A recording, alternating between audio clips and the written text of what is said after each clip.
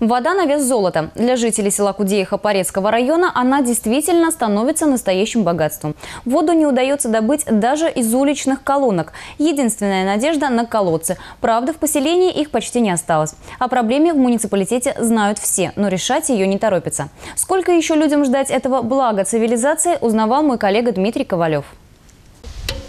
Каждое утро пенсионерки Екатерины Пряничкиной начинается с силовых упражнений. Правда, такая зарядка ей не приносит никакого удовольствия. Вместо гирь в руках полные ведра с водой. С увесистым грузом приходится преодолевать более 100 метров. Это расстояние от дома до колодца. Чтобы полить огороды, она преодолевает его по несколько раз в день. Милый, сейчас поливать. Я уж сейчас, мне воды наденько.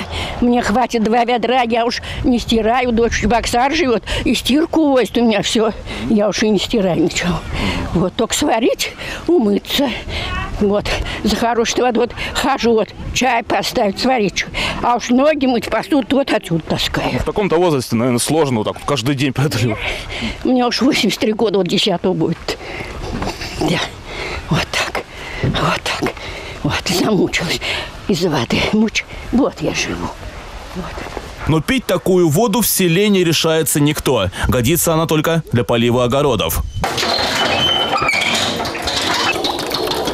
Вода в колодцах ушла на приличную глубину, на 15 колец вниз, и выше она не поднимается. Из недр земли удается добыть только вот такую воду зеленоватым оттенком. Такая вода для питья не годится.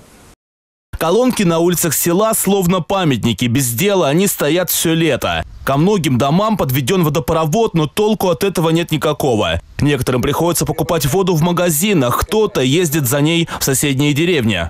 Полить-то много надо. Вот засуху стоял. А не хватает. Это, это минимум 100 литров надо. С малой дозой только поманенечку. Надо помыться, надо сварить, надо да. посуду помыть, да. надо э, огород, капусту, помидоры там. Да. Что больше? А без этого как?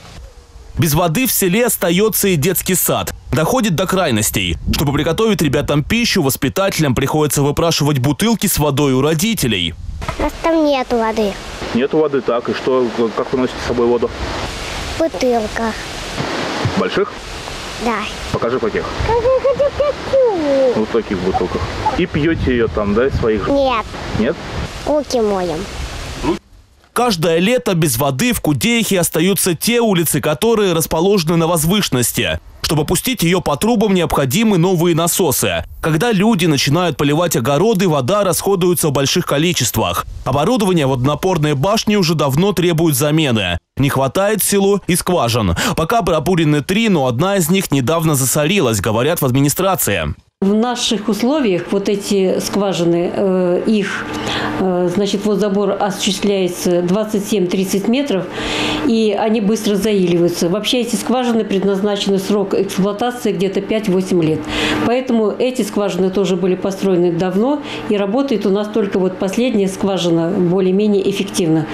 Если появится новая скважина, то вода в селе перестанет быть дефицитной. Но денег в местном бюджете не хватает. Администрация пытается решить проблему и собирает средства с населения. Людям присылают вот такие расчетки с графой на пожертвования. Глобальная задача – войти в программу «Чистая вода». Власти уже начали оформлять документы. Дмитрий Ковалев, Евгений Анисимов. Республика.